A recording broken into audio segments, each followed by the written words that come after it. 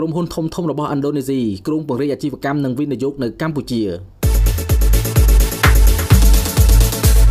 ក្រុមហ៊ុនធំធំជាច្រើនរបស់ប្រទេសឥណ្ឌូនេស៊ីបានសន្យានឹងមកពិនិត្យលទ្ធភាពពង្រីកការវិនិយោគនិងកិច្ចសហប្រតិបត្តិការលើវិស័យហេដ្ឋារចនាសម្ព័ន្ធដឹកជញ្ជូននៅក្នុងប្រទេសកម្ពុជាស្របនឹងតម្រូវការនៃគម្រោងអភិវឌ្ឍប្រព័ន្ធផ្លូវដែកនៅកម្ពុជា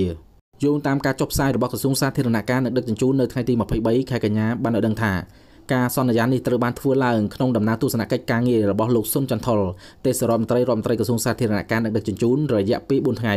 នៅសាធារណរដ្ឋឥណ្ឌូនេស៊ីដែលបានស្នើដល់តំណាងក្រុមហ៊ុនទាំងនោះធ្វើដំណើរមកកម្ពុជាដើម្បីស្វែងរកឱកាសនិងដៃគូអាជីវកម្មនិងវិនិយោគ ទី1ក្រុមហ៊ុនឧស្សាហកម្ម Indonesian Railway Industry ដែលជាក្រុមហ៊ុនឧស្សាហកម្មផ្លូវដែករដ្ឋដ៏ធំរបស់សាធារណរដ្ឋឥណ្ឌូនេស៊ីដែលត្រូវបានបង្កើតឡើងនៅឆ្នាំ1981និងជាក្រុមហ៊ុនដ៏ធំផលិតរថភ្លើងគ្រឿងបង្គុំធំនិងលក់ផ្ដល់សេវាកម្មបង្អស់នៅអាស៊ីអាគ្នេយ៍ដើម្បីផលិតលទ្ធភាពពង្រីកកិច្ចសហប្រតិបត្តិការលើវិស័យដឹកជញ្ជូនផ្លូវដែក។ ក្រុមហ៊ុនឧស្សាហកម្មផលិតរថភ្លើងឥណ្ឌូនេស៊ីនេះដែលមានសមត្ថភាពពង្រីកអាជីវកម្មជាមួយនឹងប្រទេសអូស្ត្រាលីបង់ក្លាដេសម៉ាឡេស៊ីហ្វីលីពីនសិង្ហបុរីថៃនិងអាហ្វ្រិកលោកទេសរដ្ឋមន្ត្រីបានស្នើឲ្យក្រុមហ៊ុនឧស្សាហកម្មផ្លូវដែកឥណ្ឌូនេស៊ីមកជួបពិភាក្សាជាមួយនឹងស្ថាប័ននិងក្រុមហ៊ុនពាក់ព័ន្ធដើម្បីធ្វើការសិក្សាលទ្ធភាពវិនិយោគនៅកម្ពុជាហើយក្រុមហ៊ុននេះបានសន្យាថានឹងបញ្ជូនគណៈប្រតិភូពិនិត្យលទ្ធភាពពង្រីកសហប្រតិបត្តិការលើផ្លូវដែកនៅកម្ពុជានាពេលដ៏ខ្លីខាងមុខ។ ទី2ក្រុមហ៊ុនកំពង់ផែផាល់ឥណ្ឌូនេស៊ីដែលជាក្រុមហ៊ុនកំពង់ផែរដ្ឋធំលំដាប់ទី2របស់ឥណ្ឌូនេស៊ីបន្ទាប់ពីក្រុមហ៊ុនកំពង់ផែក្រុងយ៉ាកាតា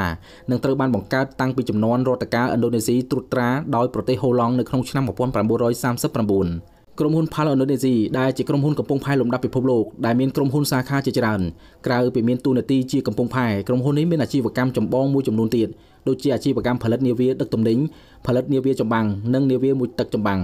នាវាសណ្ដោងផលិតនាវាផលិតធម្មពលអគ្គិសនីផលិតគ្រឿងឧបករណ៍សម្រាប់កំពង់ផែនិងចំណតនាវាវិស្វកម្មទូទៅនិងផ្ដល់សេវាកម្មថែទាំជួសជុលនិងរុះរើនាវាឡាលោកទេសរដ្ឋមន្ត្រីសុនចន្ទថុលស្នើដល់កំពង់ផែផាល់អូនេនេស៊ីនេះពិភាក្សាជាមួយនឹងកំពង់ផែកម្ពុជាដើម្បីបង្កើននូវកិច្ចសហប្រតិបត្តិការលើវិស័យកំពង់ផែរវាងភាគីទាំងពីរដោយផ្អែកលើកិច្ចសហប្រតិបត្តិការផ្នែកអាជីវកម្មនាវារវាងភាគីទាំងពីរទៅថ្ងៃអនាគត។ ក្រៅពីនេះលោកទេសរដ្ឋមន្ត្រីបានជួបជាមួយនឹងថ្នាក់ដឹកនាំនិងតំណាងក្រុមហ៊ុនរបស់ឥណ្ឌូនេស៊ីជាច្រើនផ្សេងទៀតក្នុងការបង្ហាញពីឱកាសវិនិយោគរបស់កម្ពុជា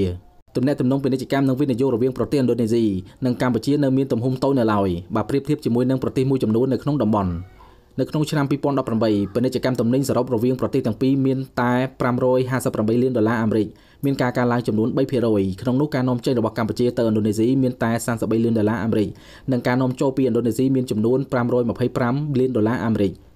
ចំពោះវិនិយោគវិញនៅមានកម្រិតតិចតួចដល់ឡើយ។ លោកទេសរដ្ឋមន្ត្រីសុនសន្ធុលបានឲ្យដឹងថាប្រទេសទាំងពីរមានសក្តានុពលធំធេងសម្រាប់បង្កើនកិច្ចសហប្រតិបត្តិការប៉ុន្តែកន្លងមកទំនាក់ទំនងពាណិជ្ជកម្មនិងវិនិយោគក៏ដូចជាការតបភ្ជាប់រវាងប្រទេសទាំងពីរនៅមានកម្រិត